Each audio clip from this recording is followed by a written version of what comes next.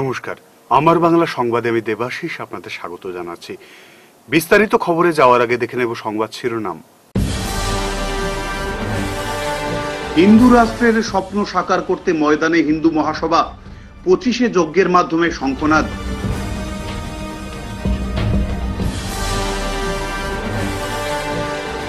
চৌদ্দ লক্ষে শিলচর ভেটেনারির জমি বিক্রি, প্রতিবাদে সোচ্চার শিলকুড়ির বাসিন্দারা।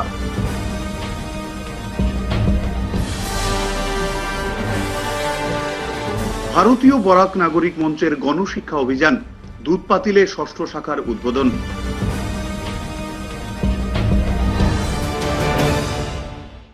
এবারে বিস্তারিত আমার বাংলা সংবাদ। হিন্দু রাষ্ট্রের স্বপ্ন সাকার করতে এবার সরাসরি রাজনৈতিক ময়দানে নামছে অখিল ভারত হিন্দু মহাসভা। শুরু হয়েছে নতুন করে দেশ জুড়ে সংগঠনের বিস্তার। চব্বিশের লোকসভা নির্বাচনে দল সর্বশক্তি নিয়ে ঝাঁপাতে চায়। রবিবার শিলচরে আয়োজিত এক সাংবাদিক সম্মেলনে নিজেদের লক্ষ্য কর্মসূচি ঘোষণা করেছে হিন্দু মহাসভার জেলা আহ্বায়ক কমিটি। জেলার মুখ্য আহ্বায়ক পীযুষ দাস বলেন, হিন্দুদের স্বার্থ রক্ষায় সম্পূর্ণ ব্যর্থ বর্তমান সরকার। যে সকল মনীষী হিন্দু মহাসভার মাধ্যমে সমাজ সুরক্ষার বার্তা দিয়েছিলেন, বর্তমান বিজেপি নেতৃত্বাধীন সরকার লক্ষ্যভ্রষ্ট হয়ে গিয়েছে। পুরনোদের অসম্মান, আদর্শ সংস্কার, বিসর্জন দিয়ে ক্ষমতার নেশায় মত্ত হয়ে গিয়েছে তারা। মানুষের আস্থা ও বিশ্বাসের তোয়াক্কা না করে একনায়ক তন্ত্র চালিয়ে যাচ্ছে এই সরকার। রাজ্যে রাজ্যে হিন্দুরা বিপন্ন বিপন্ন, বিভিন্নভাবে নির্যাতিত। ক্ষুব্ধ সাধারণ মানুষ আজ বিকল্প রাজনৈতিক আশ্রয় খুঁজে বেড়াচ্ছেন। হিন্দু মহাসভা যেখানে দাঁড়িয়ে প্রত্যেক সনাতনী হিন্দুর স্বপ্নকে বাস্তবায়িত করতে লড়াই করবে বলে উল্লেখ করেন পীযূষ। ফলস্বরূপ হিন্দু মহাসভাকে ইতিহাস থেকে মুছে ফেলার জন্য কিছু চক্রান্ত, কিছু রাজনৈতিক দল চক্রান্ত করে আসছে। আমি নির্দ্বিধায় বলতে পারব যে হিন্দু, অখিল ভারত হিন্দু মহাসভাকে ইতিহাস থেকে মুছে ফেলার জন্য আমাদের বর্তমান সরকার, বিজেপি বহু প্রচেষ্টা করেছে। আমি উদাহরণস্বরূপ বলতে পারি, আজকে রাম মন্দির নিয়ে যে লড়াই মহাসভা করেছিল। সেই মহাসভা, অখিল ভারত মহাসভা মাননীয় সুপ্রিম কোর্ট থেকে আমাদের রাম মন্দিরে জয় নিয়ে আসছিল। জ্ঞানব্যাপী মন্দির মধুরার মন্দির মধ- মধুরা মসজিদ, শ্রীকৃষ্ণ জন্মভূমি। এই মামলাগুলো নিয়ে অখিল ভারত হিন্দু মহাসভা দীর্ঘদিন লড়াই করে, আইনি লড়াই করে জয় নিয়ে আসে। কিন্তু অত্যন্ত পরিতাপের বিষয়। আমাদের এই স্বীকৃতিকে কোনোদিনও বর্তমান সরকার পাত্তা দেয়নি। তাই আমাদের বর্তমান সময়ে আমাদের রাষ্ট্রীয় অধ্যক্ষ নির্দেশ দিয়েছেন, আমরা প্রত্যেক জুন, প্রত্যেক প্রত্যেক জুন প্রত্যেক রাজ্যে আমরা সাংগঠনিক কাজকর্ম করে আগামী দিনে আমরা নির্বাচনের দিকে এগিয়ে যাব। মহাসভার রাজ্য শাখার মুখ্য আহ্বায়ক মৃগাঙ্ক ভট্টাচার্য বলেন, রাম মন্দির প্রতিষ্ঠার লড়াই উনিশশো উনপঞ্চাশ সাল থেকে চালিয়ে আসছে মহাসভা। লাগাতার আইনি লড়াই করে অবশেষে দুহাজার উনিশ সালের নয় নভেম্বর সুপ্রিম কোর্ট থেকে রাম মন্দির হামলার জয় নিয়ে আসে।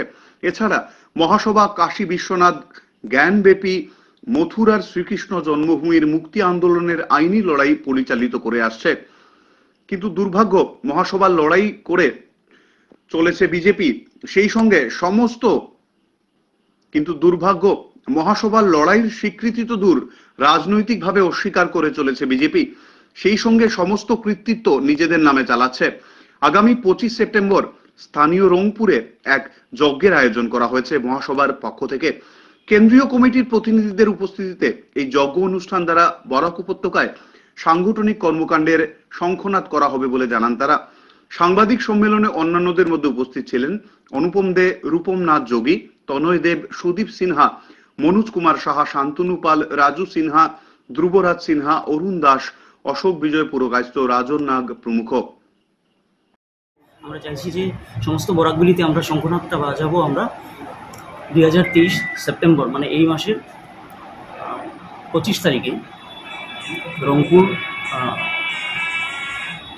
রংপুর একটি ভবনে আমাদের একটা যজ্ঞর অনুষ্ঠান থাকবে।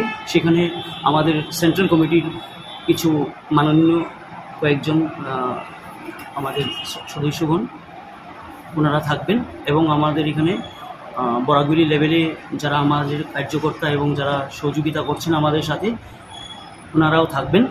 আর যাতে এটা খুব সুন্দরভাবে আমরা প্রতিষ্ঠা হয়েছিল আঠারোশো সাতষট্টি ইংরেজিতে। লাহোর বিশ্ববিদ্যালয়ের প্রতিষ্ঠাতা বাবু নবীনচন্দ্র রায় আর রায় বাহাদুর চন্দ্রনাথ মিশ্র মহাশয় চন্দ্রনাথ রায়। তো ওনারা দুজনেই হিন্দু মহাসভা স্থাপনা করেছিলেন, কিন্তু রাজনৈতিকভাবে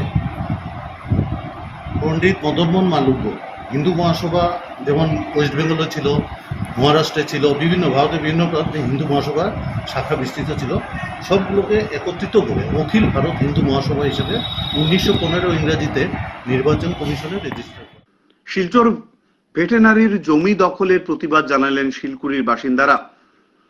রবিবার শিলকুড়ি জিপির সহসভাপতি সন্দীপ দাস সহ অন্যান্যরা অভিযোগ করে বলেন, স্থানীয় বাসিন্দা সঞ্জয় দাস বেআইনিভাবে ভেটেনারির আড়াই কাঠা জমি বিক্রি করেছেন।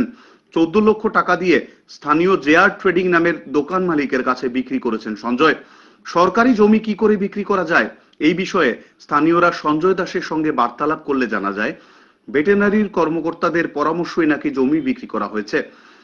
অন্যদিকে, ভেটেনারিতে কর্মরত ডাক্তারের কাছে জিজ্ঞেস করলে জানা যায়, এ বিষয়ে তিনি কিছুই জানেন না। স্থানীয়রা বলেন, এরকম সরকারি জমির দখল তারা মানবেন না। প্রয়োজনে তারা জেলা প্রশাসনের দ্বারস্থ হবেন।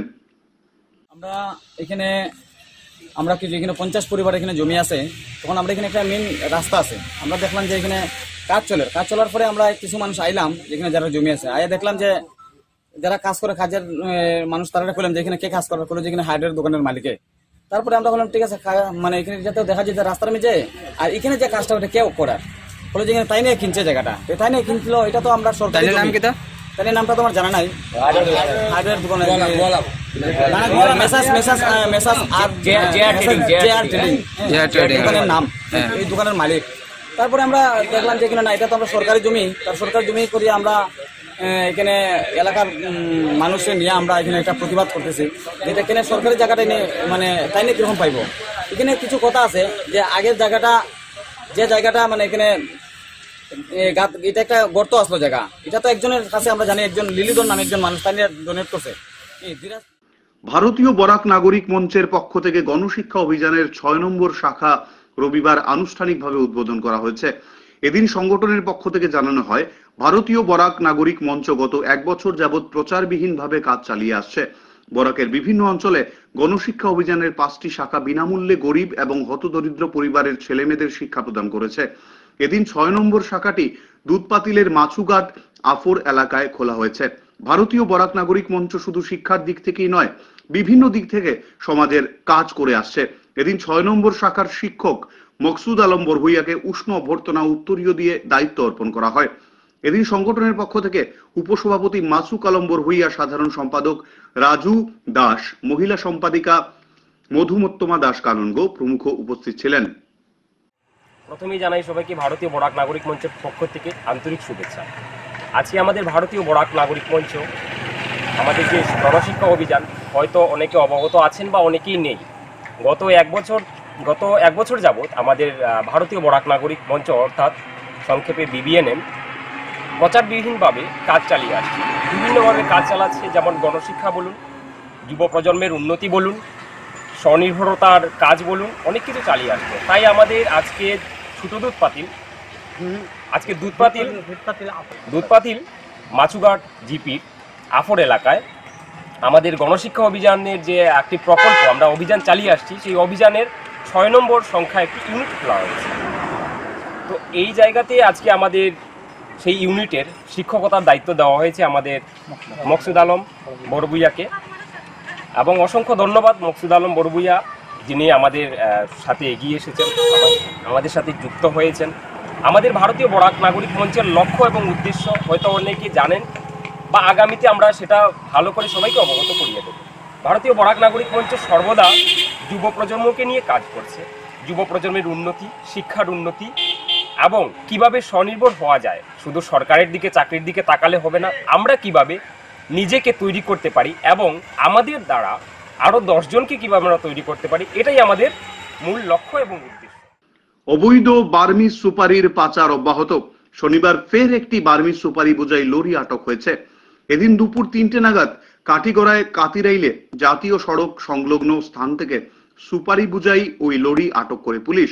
তবে পুলিশকে দেখে লরি চালক পালিয়ে যায়। গোপন সূত্রের খবরের ভিত্তিতে কাঠিগোড়া পুলিশের এই অভিযানে সাফল্য এসেছে। বিকেলে লরিটি বাজেয়াপ্ত করে কাঠিগোড়া থানায় নিয়ে আসে পুলিশ।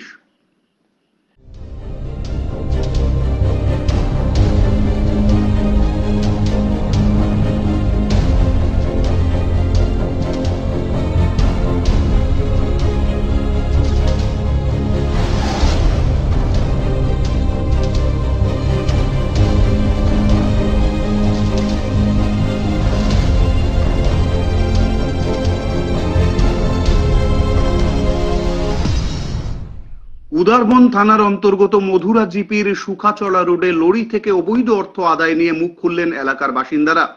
রবিবার এক সাংবাদিক সম্মেলন করে এলাকার বাসিন্দারা বলেন সুকাছড়া থেকে নগর পিডব্লিউডি পর্যন্ত যে জিপি রুট রয়েছে, সেটি আসলে মহালের রাস্তা নয়। মহালের গাড়ি চলাচলের জন্য পৃথক রাস্তা রয়েছে। জিপি রুট হচ্ছে জনসাধারণের চলাচলের রাস্তা। এই রাস্তা দিয়ে এলাকার মানুষ আসা যাওয়া করে। গ্রামীণ এই রাস্তা দিয়ে গত চার পাঁচ মাস থেকে পাথর বোঝাই লরির চলাচল করলে স্থানীয়রা তাতে আপত্তি জানিয়েছিলেন। এমনকি লরি চালকদের এই রাস্তা দিয়ে যান নিয়ে চলাচল না করতে বারবার অনুরোধ করা হয়। কিন্তু লরি চালকরা তাতে কর্ণপাত করেননি। এতে বেহাল হয়ে পড়ে রাস্তার অবস্থা। পরে স্থানীয় জনগণ রাস্তা সংস্কারের জন্য জনপ্রতিনিধিদের দ্বারস্থ হলেও লাভ হয়নি। স্থানীয়রা সিদ্ধান্ত নেন প্রতিটি লরি থেকে চাঁদা সংগ্রহ করবেন বলে। লরি থেকে চাঁদা বাবদ যে অর্থ আদায় হয়ে থাকে তা নিয়ে রাস্তা সংস্কারের পাশাপাশি গ্রামে থাকা দুটি শিব মন্দির, দুর্গা মন্দির ও গ্রাম থানের সংস্কার করা হয়। এই অর্থ ব্যক্তিগতভাবে কেউ আদায় করেনি। অবৈধ গেট তৈরি করে অর্থ আদায়ের অভিযোগ উড়িয়ে দিয়ে তারা বলেন, এই রাস্তা দিয়ে লরি চলাচল বন্ধ করার জন্য শীঘ্রই তারা উধারবন্দের সার্কেল অফিসারকে স্মারকপত্র প্রদান করবেন। প্রশাসনের তরফে এই সড়ক দিয়ে পাথর বোঝাই লরির চলাচল বন্ধ করা না হলে বৃহত্তর আন্দোলন গড়ে তোলার হুঁশিয়ারি দেন তারা। এদিন স্থানীয়দের পক্ষে সমর মালাকার মেঘা নুনিয়া, কার্তিক মালাকার প্রদীপ নুনিয়া, মুন্না ভর, চম্পালাল ঘাটুয়ার, বিনয় মালাকার অক্ষয় দাস, নগেন্দ্র দাস, রোমা মালাকার, উত্তম দিশ বিনয় ওড়াং সাধু গোস্বামী সহ অন্যান্যরা উপস্থিত ছিলেন। গাড়ি চলে রাস্তা খারাপ হইব।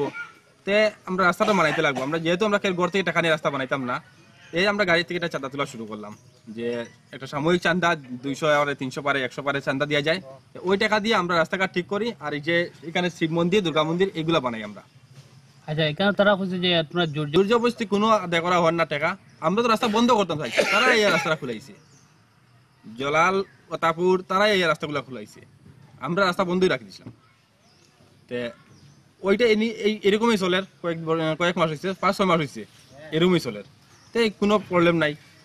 তে কালকে শুনলাম যে একটা কেস হয়ে গেছে আমরা উপরে। তো লেগে আজকে প্রেস মিটটা দেখা হয়েছে। এখন আপনারা কি সিদ্ধান্ত নিয়েছেন? তখন সিদ্ধান্ত লইছি যে যেহেতু আমরা উপরে কমপ্লেন হয়ে গেছে আমরা দুর্গ বসে টাকা উঠাইয়ার দাদাগিরি দেখাইয়ার তে আমরা চাইয়া যে রাস্তা পুরোপুরি বন্ধ আমরা একটা মেমোরেন্ডাম লেখিয়া আমরা সাইকেলে নিয়ে দিমু এটা রাস্তা লরি চোরা যে লোড গাড়ি এগুলো পুরোপুরি বন্ধ হয়ে যাবে। লোড গাড়ি না চললেই ভালো এই রাস্তা। তো তাইলে কোয়ারির থেকে যে গাড়ি বের হবে সেগুলো কোন রাস্তা দিয়ে যাবে? সেগুলো মোয়ালদারের রাস্তা আছে টালিগ্রাম ওই এইদিকে যাক। মালদারের ব্যক্তিগত মালদারের রাস্তা থাকা সত্ত্বেও এটা গ্রামের রাস্তা ব্যবহার করা হচ্ছে। গ্রামের রাস্তায় যে আমরা কই যে গ্রামের রাস্তা তোমার লোড গাড়ি লাগি না এতে হে কয় লোড গাড়ি যেদিকে গিয়ে হোক আমার প্রবলেম নাই আমার টাকা দেওয়া আমার পারমিট সেললেই তো টাকা পাইতাম। তো আপনারা এখন সার্কেল অফিসে মেমোরেন্ডাম দিবে এরপরে যদি কাজ না হয়? কাজ নাই তো আমরা আন্দোলন করব। বহুত বড়ভাবে আস্তা গ্রামবাসী আন্দোলন করব। অলকাছার ইলেকট্রনিক অটো ওনার্স ড্রাইভার অ্যাসোসিয়েশনের নতুন কমিটি গঠন হলো রবিবার। শিলচরের এক অভিজাত হোটেলে রবিবার আয়োজিত এক সভার মাধ্যমে অলকাছার ইলেকট্রনিক অটো ওনার্স ড্রাইভার অ্যাসোসিয়েশনের নতুন জেলা কমিটি গঠন করা হয়। সভায় কাছাড় জেলা পরিষদের চেয়ারম্যান অমিতাভ রায়, গ্রাহক সুরক্ষা সমিতির সাধারণ সম্পাদক বিপ্লব কুমার গোস্বামী, গ্রাহক আইন আধিকারিক দীপান্বিতা গোস্বামী সহ অন্যান্য বিশিষ্ট ব্যক্তিবর্গের উপস্থিতিতে দুই শতাধিকের অধিক সদস্যকে নিয়ে নবগঠিত কমিটিতে তাহের আহমেদ মজুমদারকে সভাপতি, রিপন কুমার ধরকে সম্পাদক পদে মনোনীত করা হয়। এছাড়াও কমিটির সহসভাপতি পদে নিজামুদ্দিন মজুমদার, সাধারণ সম্পাদক শাহ আলম্বর ভুইয়া ও কোষাধ্যক্ষ পদে গোপাল বণিককে মনোনীত করা হয়েছে। সংবাদ মাধ্যমের প্রতিনিধিদের সঙ্গে কথা বলতে গিয়ে সংস্থার কর্মকর্তারা জানান প্রদূষণ মুক্ত সমাজ গঠনের লক্ষ্যে অ্যাসোসিয়েশনের নতুন জেলা কমিটি গঠন করা হয়েছে। আগামীতে গ্রাহকদের যাতায়াতে কোনো ধরনের অসুবিধার সৃষ্টি না হয়, সেদিকে বিশেষ নজর রাখার পাশাপাশি ট্রাফিক আইন ও সরকারি নীতি নিয়ম মেনে চলার অঙ্গীকারবদ্ধ হন তারা।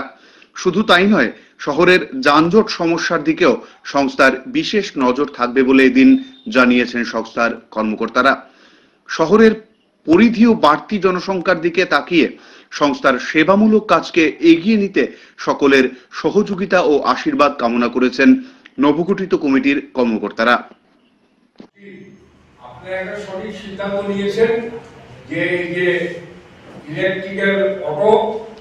আপনারা অনেকেই সবাই, অনেকেই আমি যতটুকু জানি সবাই ব্যাংক থেকে ঋণ করে আপনারা নিজে, নিজেরা বাঁচার জন্য আপনারা একটা একটা সুন্দর ইনকামের জন্য আপনারা আপনারা ইয়ে করেছেন, এই অটো কিনেছেন। তো সেখানে আমাদের শুভেচ্ছা থাকল আমাদের সংগঠনে।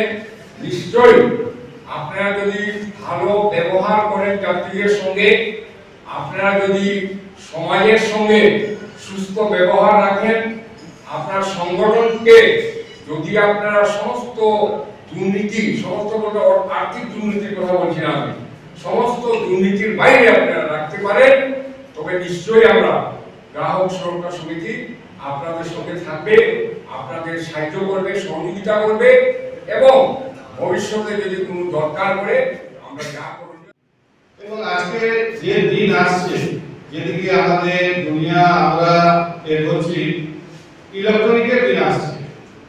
কারণ এই ডিজেল পেট্রোল কেমিক্যাল বা এইসব যে পুরনো ব্যবস্থা এই ব্যবস্থা কিন্তু আস্তে আস্তে মেইন স্ট্রিম থেকে সরে যাচ্ছে। এবং যতগুলো অটোমোবাইল কোম্পানি আছে, সবগুলো অটোমোবাইল কোম্পানি দেখুন দৃষ্টি কিন্তু ইলেকট্রনিকের দিকে। আপনারা দেখবেন বড় বড় যে কোম্পানি আছে টয়োটা আপনার সুজুকি মারুতি এইসব কোম্পানি এখন হাইব্রিড গাড়ি বের করছে। এবং গাড়িতে দুটি বিকল্প থাকছে। চল্লিশ কিলোমিটার পর্যন্ত ইলেকট্রনিকে চলবে ইলেকট্রিকের মাধ্যমে চলবে, এবং চল্লিশের ঊর্ধ্বে যখন স্পিড যাবে, তখন অটোমেটিকলি এটি পেট্রোলে কনভার্ট হচ্ছে। এই ধরনের গাড়ি আমাদের মধ্যে অনেকগুলো এসেছে এটাকে হাইব্রিড গাড়ি বলা হচ্ছে। এবং আমাদের দেশে যিনি পরিবহন মন্ত্রী, কেন্দ্রীয় পরিবহন মন্ত্রী শ্রী নীতিন গডকারি। উনি বারবার কথা আমাদের মধ্যে বিভিন্ন সময় বলে যাচ্ছেন যে আগামী কয়েক বছরের মধ্যে এই সব গাড়ি বিলুপ্তি হবে এবং আমাদের মধ্যে এবং বাজারে শুধু ইলেকট্রনিক গাড়ি থাকবে। এবং ইলেকট্রনিক গাড়ি কীভাবে আরও ভালো করা যায়, আরও উন্নত করা যায়, সেই জন্য ভারতবর্ষে মেক ইন ইন্ডিয়া যে প্রয়াস, এই মেক ইন ইন্ডিয়ার মাধ্যমে নতুন নতুন এবং আধুনিক প্রযুক্তি নাবালিকার রহস্যজনক মৃত্যুকে কেন্দ্র করে চাঞ্চল্য সৃষ্টি হয়েছে করিমগঞ্জের শহর সংলগ্ন সরিষা মেদল এলাকায়। এদিন সকালে নিজ ঘর থেকে নগ্ন অবস্থায় উদ্ধার হয়েছে অষ্টম শ্রেণির এক ছাত্রীর মৃতদেহ। এলাকাবাসীর ধারণা, ধর্ষণ করে খুন করা হয়েছে ওই নাবালিকাকে। এলাকাবাসীর কাছ থেকে জানা যায়, এদিন সকালে মৃত নাবালিকার অন্য তিন বোন হঠাৎ হাল্লা চিৎকার করলে আশপাশের লোকজন তাদের ঘরে ছুটে এসে দেখতে পান, নাবালিকা মেয়েটি ঘরের একটি কক্ষে নগ্ন অবস্থায় অচেতন হয়ে পড়ে রয়েছে। পরে নাবালিকাকে মৃত দেখতে পেয়ে পুলিশে খবর দেওয়া হয়। খবর পেয়ে পুলিশ সুপার পার্থপ্রতিম দাস দলবল নিয়ে ঘটনাস্থলে উপস্থিত হয়ে মৃতদেহ উদ্ধারের পাশাপাশি ঘটনার তদন্ত আরম্ভ করেছেন। এদিকে নাবালিকা মেয়েটিকে ধর্ষণ করে খুন করা হয়েছে বলে অভিযোগ উত্থাপন করেছেন পরিবারের লোকেরা। তবে ময়না তদন্তের রিপোর্ট আসার পর মৃত্যুর সঠিক কারণ জানা যাবে, জানিয়েছেন পুলিশ সুপার পার্থপ্রতিম দাস। সকালবেলা একটা ঘটনা হয়েছে যে মেটার বুঝি সকালবেলা উলঙ্গ দেখা গেছে। দেখা যাওয়ার পিছে লাগা বাসা আমার, খবর গেছে যে সুমন একটু তাড়াতাড়ি তুই। আইসি আমার পরে দেখা গেছে যে ঘটনা, তারা মেলুক কয়েকজন ঢুকছে। ঢুকার পরে দেখল যে তাই বুঝি কয়েকদিন পর পর ফিট হয়। তো তারা করলে হয়তো ফিট হয়েছে দাঁতুত লাগছে। তো একটু তেল উল দেয় দেওয়ার পরে দেখছে যে একটু ব্লাড দেখা গেছে। দেওয়ার পরে তারা হলো কেসটা তো অন্যরকম যখন এখানে কেউ ঢুকার দরকার নাই, মেলুক যেহেতু এখানে কাপড় নাই, তো তাই কাপড়টা লাগাইয়া দিই। ও দুয়ার পরে দেখা যাচ্ছে যে ঘটনা অন্যরকম এরপরে আমার তারা কইলো তো পুলিশ প্রশাসনের যাওয়ার দরকার। আমি ওসি স্যারে ফোন করছি। ফোন করার পরে স্যারে বলছি ঠিক আছে আমি আধা ঘণ্টার ভিতরে আসব। যেই হোক আধা ঘণ্টা লাগছে না এরপরেও তারা এই গেছে। আমার পরে তো ঘটনাটা বর্তমানে আপনারা বিস্তারিত দেখতে পাবেন কিতা ঘটনা তো সকালবেলা যখন তারা বার হয়েছে ফার্স্ট একটা কথা আমি সারিয়ে দিছি। সকালবেলা যখন তারা পাড়া প্রতিবেশী বাচ্চার যেটা আর কি তারা আরও তিনটা মেয়ে আছে তারা ডাকছে যে পাড়া প্রতিবেশীরে যে ওলা ওলা তাই কথা কর না একটু তোমরা ও তারা গেছে। গিয়ে দেখা গেছে যে ঘটনা এরকম। ঘটনা কিতা ঘটনা তো সকালবেলা বোঝা গেছে যে অন্য কেস যে হয়তো ফিট হয়েছে বা কিছু হয়েছে এরপরে দেখা গেছে যে না একটু ব্লাড মেলুক তারা দেখছে একটু ব্লাড দেখা গেছে। আমরা ছেলেরা কেউ গেছি রেপ মার্ডার কেসে বোঝা যায় যে রেপ মার্ডার হয়েছে কে বা কাহারা করছে এটা তো আমরা কোনো বুঝি আর না। যেহেতু পুলিশ প্রশাসন তারা এসে তারা জিনিসটা দেখব। পোস্টমর্টম রিপোর্ট মেয়েটার বয়স কত? বয়স বিগত ফিফটিন ক্লাস হইব। কোন ক্লাসে পড়ে? এইটে পরে আচ্ছা পুলিশ আইছে ঘটনা পুলিশ আমরা যখন কল করছি ওসি স্যার আমি নিজেই কল করছি। এখন আধা ঘণ্টার ভিতরেও তারা এগিয়েছে আপনার কি দাবি? পঁচিশ বছর পূর্তি উপলক্ষে কেক কেটে বছরব্যাপী অনুষ্ঠানমালার শুভ সূচনা করল সংগঠন খোঁজ। পঁচিশতম বর্ষপূর্তি উপলক্ষে বছরব্যাপী বিভিন্ন অনুষ্ঠান আয়োজন করার পরিকল্পনা হাতে নিয়েছে সামাজিক ক্রীড়া ও সাংস্কৃতিক সংগঠন খোঁজ। শনিবার সংস্থার কার্যালয়ে কেক কেটে বছরব্যাপী অনুষ্ঠানমালার শুভ সূচনা করেন আয়োজকরা। সংবাদ মাধ্যমের প্রতিনিধিদের সঙ্গে কথা বলতে গিয়ে সংস্থার তরফে সজল লস্কর জানান খোঁজের পঁচিশ বছর পূর্তি অনুষ্ঠানকে মাথায় রেখে জেলার বিভিন্ন গ্রামেগঞ্জে হকি, ভলিবল, কবাডি, অ্যাথলেটিক্স, নৃত্য ও সংগীত সহ নাটক আয়োজিত করার পরিকল্পনা হাতে নিয়েছে সংস্থার কর্মকর্তারা। এছাড়াও বছরব্যাপী অনুষ্ঠানমালার অঙ্গ হিসেবে ফাইভ এসাইড ফুটবল প্রতিযোগিতার পাশাপাশি ক্রিকেটেরও আয়োজন করা হবে। উল্লেখ্য, সংগঠন খোঁজ দীর্ঘদিন যাবৎ গোটা বরাক জুড়ে বিভিন্ন সেবামূলক কাজ করে আসছে। খেলাধুলার পাশাপাশি সাংস্কৃতিক ও শৈক্ষিক পরিবেশে সংস্থার অবদান অপরিসীম। সংস্থার পঁচিশতম বর্ষপূর্তি উপলক্ষে খোঁজের সাধারণ সম্পাদক সজল লস্কর খোঁজের খতিয়ান তুলে ধরে আগামীতে সমাজের পিছিয়ে পড়া মানুষদের মধ্যে শাড়ি, কম্বল ও শিশুদের খাবার সামগ্রী তুলে দেওয়ার আশ্বাস দেন। বিগত পঁচিশ বছরে উপত্যকার বিভিন্ন মানুষ যেভাবে সংগঠনকে সহায়তার হাত বাড়িয়ে দিয়েছে, তার জন্য সকলের প্রতি ধন্যবাদ ও কৃতজ্ঞতা জ্ঞাপন করেছেন তিনি। খোঁজের পঁচিশ বছর পূর্তিতে বছরব্যাপী আয়োজিত হতে এই অনুষ্ঠানমালাকে সফর করতে সুদূর বাংলাদেশের আফিস সুইস ও ঠান্ডা পানীয় স্পিড যেভাবে সাহায্যের হাত বাড়িয়েছে, তার জন্য বাংলাদেশের দুটি কোম্পানিকে সাধুবাদ জানিয়েছেন আয়োজকরা। আগামীতে উপত্যকাবাসী জনগণের আশীর্বাদ ও শুভেচ্ছা নিয়ে বছরব্যাপী অনুষ্ঠানকে এগিয়ে নিতে সকলের সহযোগিতা কামনা করেছেন তারা। খোঁজ শিলচর সামাজিক ক্রীড়া সাংস্কৃতিক সংস্থার পক্ষ থেকে সর্বপ্রথম শিলচরবাসীকে অভিনন্দন জানাই। ওনারা আমাদেরকে সবসময় সাহায্যের হাত বাড়িয়ে দেওয়াতে আজ আমরা পা দিয়েছি পঁচিশে। পঁচিশ বছর পূর্তি উপলক্ষে আমরা কাছাড় জেলার বিভিন্ন গ্রামের মধ্যে আমরা খেলাধুলা প্রচার করব।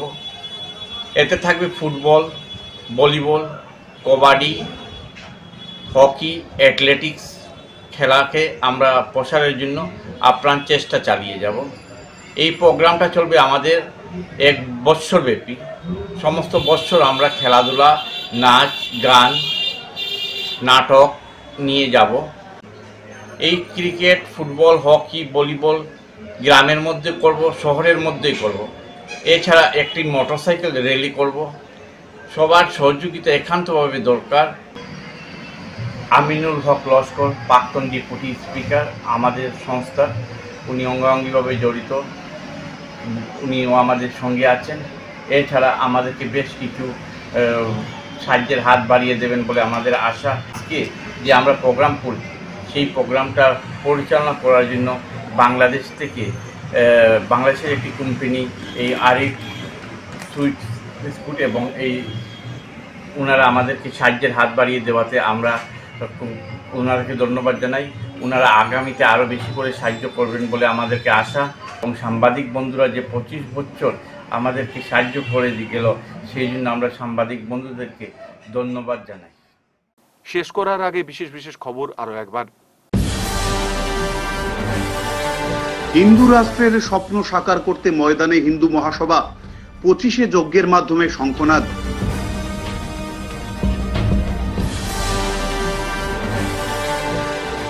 চৌদ্দ লক্ষে শিলচর ভেটেনারির জমি বিক্রি, প্রতিবাদে সোচ্চার শিলকুড়ির বাসিন্দারা।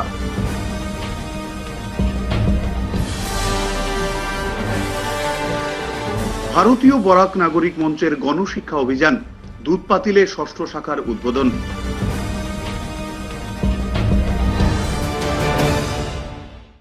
এখনকার মতো সংবাদ এ পর্যন্তই। ধন্যবাদ।